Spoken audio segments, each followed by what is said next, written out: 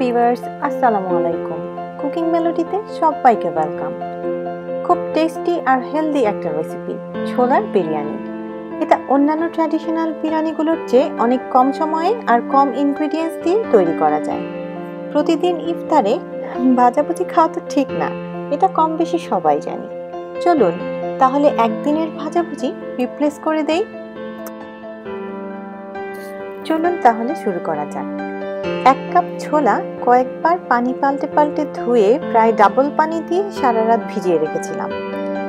Pressure কুকারে পরিমাণ মতো পানি দিয়ে সাত আট মিনিট মতো হাই হিটে রান্না করে নিচ্ছি।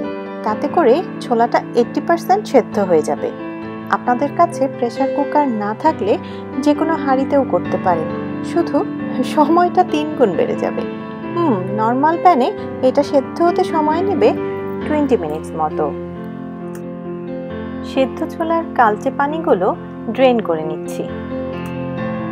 দেড় কাপ পোলাওয়ের চাল খুব ভালোভাবে ধুয়ে নিয়ে পানি ঝরিয়ে নিয়েছি। এখন অন্যান্য উপকরণগুলো দেখিয়ে দিই। এখানে পেঁয়াজ কুচি নিয়েছি হাফ কাপ মতো, আদা বাটা আর রসুন বাটা এক টেবিল চামচ করে। গরম মশলাগুলো দেখিয়ে দিই। লং নিয়েছি তিনটা, দারচিনি দুই টুকরা এলাচ দুইটা, তেজপাতা দুইটা। বিরিয়ানি মশলা নিয়ে নিয়েছি দুই টেবিল চামচ, জিরার গুঁড়া দুই চা চামচ, গোলমরিচের গুঁড়া হাফ চা চামচ, মরিচের গুঁড়া এক চা চামচ, লবণ পরিমাণ মতো, পেঁয়াজ বেরেস্তা ওয়ান ফোর্থ কাপ ঘি দুই টেবিল চামচ, সয়াবিন তেল চার টেবিল চামচ। চারটা মিডিয়াম সাইজের কাঁচামরিচ নিয়ে নিয়েছি আপনারা যদি ঝাল বেশি পছন্দ করেন, তাহলে কাঁচামরিচের পরিমাণটা বাড়িয়ে দিতে পারেন। চুলায় একটা প্যান বসিয়ে তেল দিয়ে তেলটা গরম করে নিচ্ছি। তেলটা যথেষ্ট পরিমাণ গরম হয়ে গেলে পেঁয়াজ কুচিগুলো দিয়ে দিচ্ছি। এখন একে একে গরম মশলাগুলোকে গরম করে নেব। লং, এলাচ, দারচিনি, তেজপাতা। একটু রান্না করে নিচ্ছি। দু মিনিট মতো রান্না করার পর পেঁয়াজগুলো একটু ব্রাউন হয়ে আসলে দিয়ে দিচ্ছি আদা বাটা আর রসুন বাটা।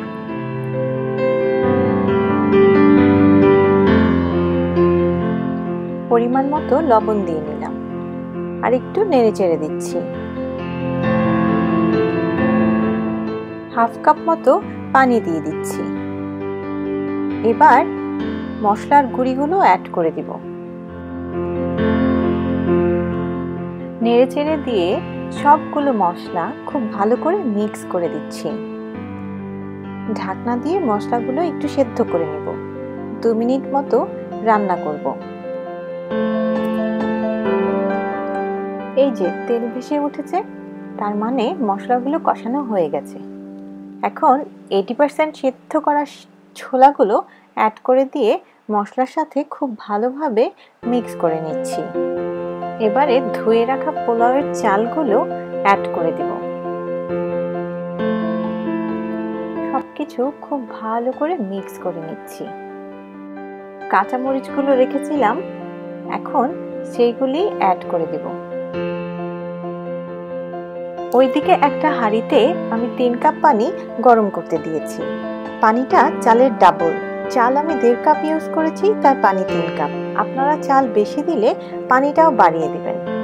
এখন ঢেকে দিয়ে রান্না করব দশ বারো মিনিট মতো মিডিয়াম হিটে।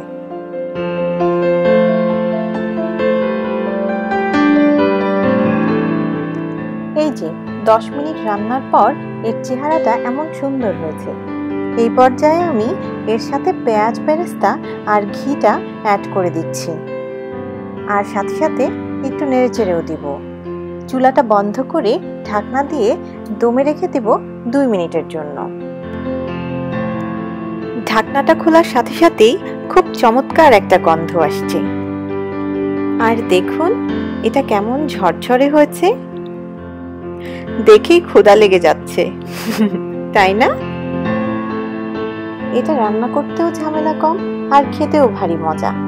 তাহলে আজকের ইফতারে ভাজাভুজিটা স্কিপ করে বানিয়েই ফেলুন। ডেলিশিয়াস এই ছোলার বিরিয়ানি। আর আপনার ফ্রেন্ডদের সাথেও রেসিপিটা শেয়ার করুন। সবাই সুস্থ থাকবেন, ভালো থাকবেন। আমার জন্য দোয়া করবেন।